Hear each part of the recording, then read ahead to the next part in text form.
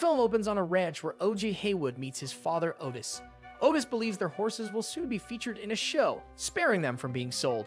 Unable to reach his sister, and with a malfunctioning cell phone, OJ and Otis are startled by a sudden screech from the sky, followed by a fast moving object. As OJ turns, he witnesses his father collapsing from his horse. Urgently, OJ rushes Otis to the hospital, but he succumbs to a tragic accident, hit in the eye by a nickel. Returning to the ranch, OJ discovers Otis Horse Ghost also injured by a mysterious assailant wielding a key. Months later, OJ prepares Lucky, one of their horses, for filming. Director Finn Bachman asked about Otis, past collaborator, and a crew member discreetly reveals Otis's death attributed to an object falling from a plane. Unfazed, Finn concentrates on directing with guidance from cinematographer Antlers Holst. Always struggles to communicate instructions to the crew due to his unfamiliarity with dealing with people. Fortunately, OJ's sister Em arrives and takes charge. She proudly mentions that the first recorded motion picture featured a man riding a horse with their ancestor Alastair Haywood as the horse jockey, a fact often overlooked by history. Em then moves on to safety instructions for handling Lucky before concluding her speech by showcasing her various skills. The crew decides to rehearse, but OJ believes Lucky needs a break. Despite his concerns, the crew insists, leading to a mishap where a chrome ball is placed in front of Lucky, causing the horse to panic and kick the makeup artist. As a result, the Haywoods are fired. On their way home, the siblings visit a western theme park called Jupiter's Claim. While exploring, Em notices a photo snapping wishing well. Due to financial difficulties, OJ reluctantly sells Lucky, admitting to Em that he has already sold 10 other horses but promises to buy them back. Before negotiating with the owner, OJ asks Em to stay back, expressing frustration that she promotes her side jobs instead of the family business. Em argues that promoting the family business is her side job. Left with no choice, OJ lets her meet the owner, Jupe Park, whom Em recognizes as a former child actor. OJ mentions the plan to buy back the horses, surprising Jupe. Instead, Jupe offers OJ the same deal he presented to his father.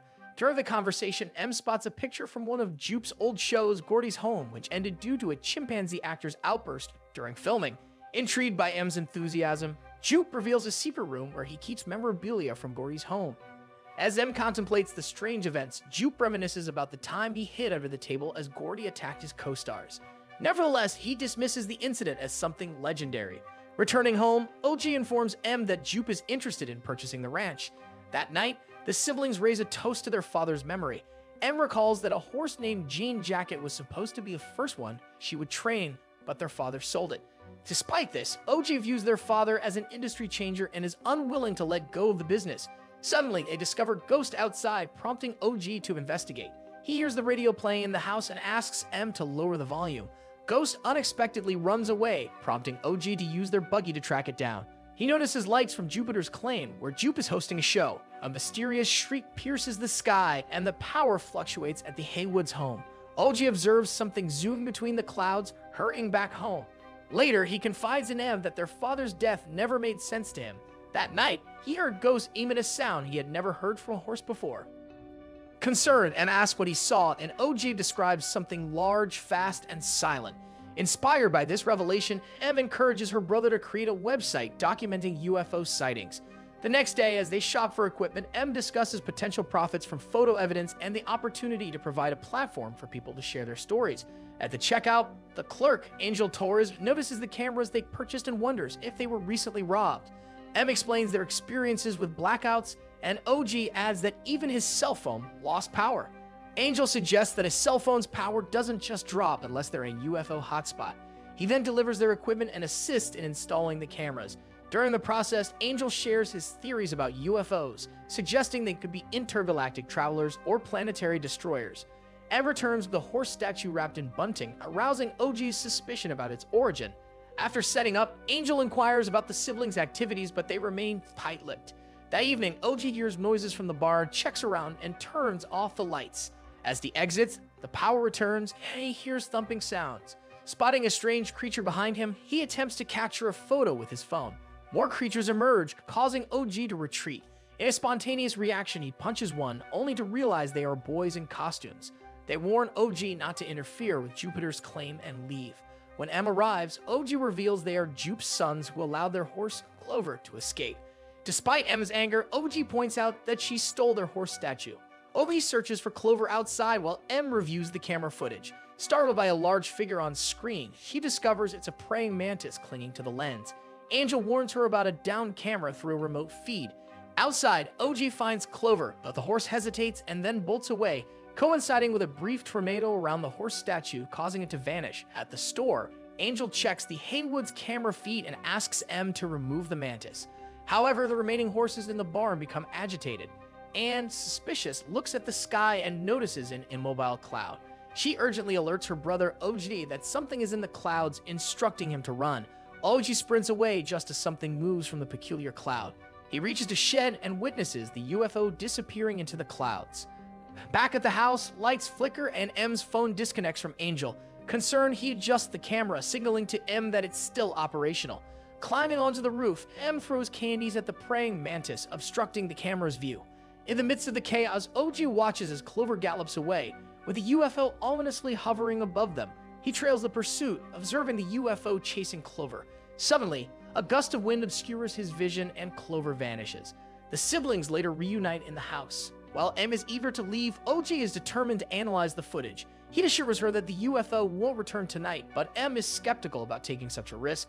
OJ insists she should go alone since he needs to tend to the horses, but Em can't bring herself to leave her brother. The next day, Em contacts Antlers to propose a documentary project, promising to capture an elusive shot. Antlers warns her that chasing her dream might be a perilous journey. Before ending the call, Angel pays a visit and Em points out the illegality of checking their camera feed without permission. Despite this, she presents evidence of a cloud that remains stationary day and night. OJ reflects on whether he has been observing the same cloud for the last six months. Recollecting the UFO's unusual movement, they ponder its nature. In 1998, during the filming of Gordy's home in front of an audience, the cast celebrated the chimp's birthday. However, when a balloon popped, Gordy turned aggressive, causing the audience to flee. A young Jupe witnessed the chaos hiding under the table as the chimp attacked his on screen mother, Mary Jo. Meanwhile, his on screen father, Tom, tried to escape, but the chimp pursued him off the stage. Jupe remained frozen in fear, noticing Mary Jo's oddly upright sandal. Eventually, Gordy returned and sat beside Mary Jo's lifeless body. When the chimp finally noticed Jupe under the table, it approached and offered a fist bump, only to be shot in the head in front of Jupe. The adult Jupe now stares blankly in his office, haunted by the memories. Revisiting the traumatic memories, Jupe is comforted by his wife, Amber, who helps him regain composure and prepares for their show. In the meantime, OJ discovers a flyer from Jupiter's claim and assumes that Lucky will be featured in their new show. Determined, he heads to Jupiter's claim to retrieve Lucky. Jupe hosts the show, dedicating it to Mary Jo, who sits in the audience wearing a veil.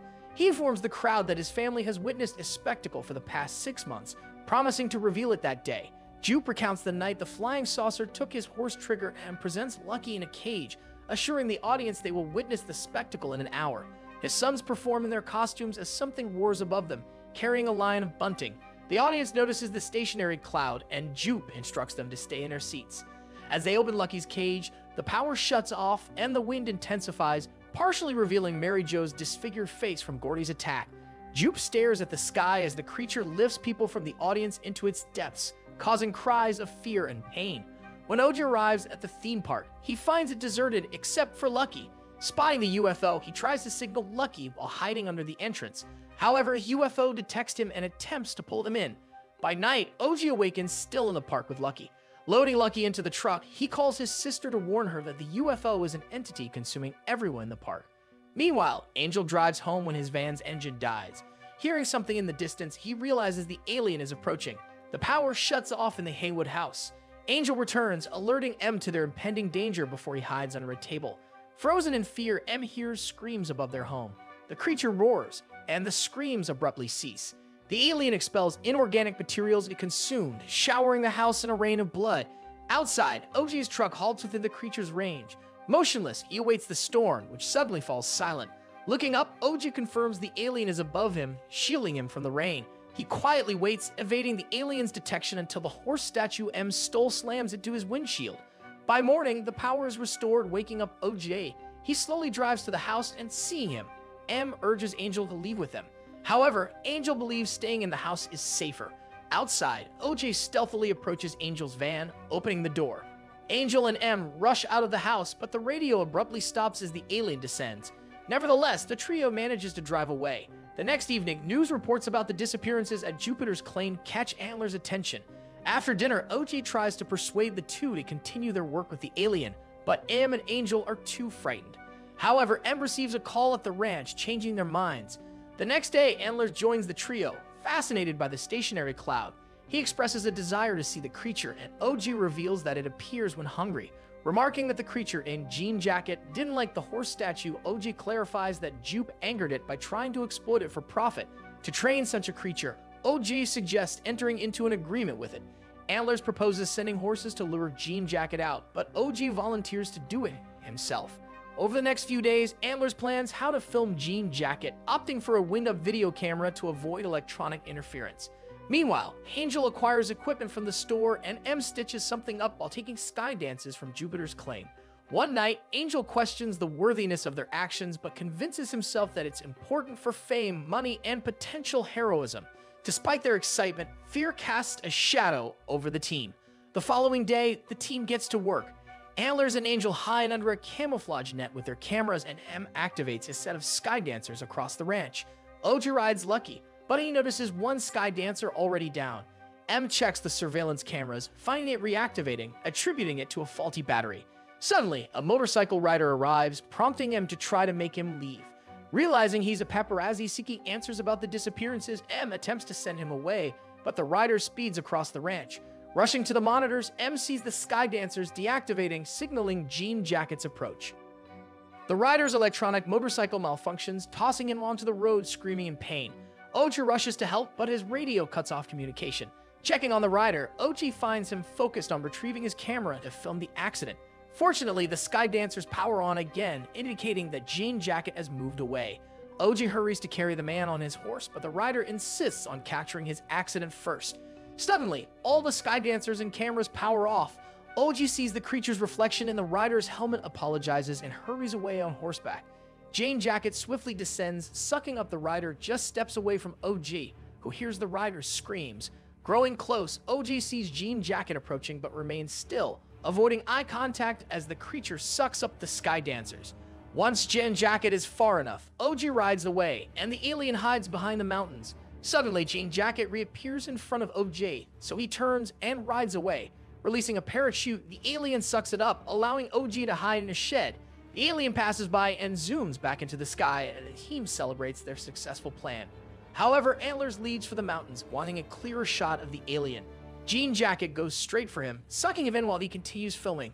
The alien then targets Angel, but a tarp blows over him, diverting the creature. Jean Jacket heads for the barn, tearing the roof apart. Em is sent flying but lands safely beside the house as Jean Jacket leaves. Angel tries to run but gets caught in barbed wire. Looping more barbed wire around him, he prevents being sucked in but stumbles back out. Em limps away as Jean Jacket changes form, lingering beside the shed where OJ is hiding. OJ tells his sister to take the rider's bike and leave. Despite feeling guilty, Em makes her way to the bike. Jean Jacket spreads out, heading towards her, causing the motorcycle to power down. Seeing this, OJ rides lucky again to distract the alien. Jean Jacket turns to OJ, but the motorcycle still won't power on. Hopeless, Em tells her brother to escape, but OJ refuses. As he slowly backs away, Jean Jacket reveals its square mouth with tassel-like skin. Finally, at a safe distance, the motorcycle powers on. Em screams, redirecting Jean Jacket's attention to her as she rides away. She reaches Jupiter's claim, releasing a blow-up mascot to bait the alien. Em gathers discarded coins, placing them in the wishing well. Jean Jacket follows the mascot into the sky as Em captures photos using the well. Once the alien catches the balloon, Em takes one more clear photo before it flies away inside its body. The balloon pops, finally killing Jean Jacket. Exhausted, Em collapses just as the press arrives. Instead of approaching them, Em walks away, seeing her brother outside, alive and well, and the movie ends here. If you enjoyed this video, check out another video popping up on your screen now.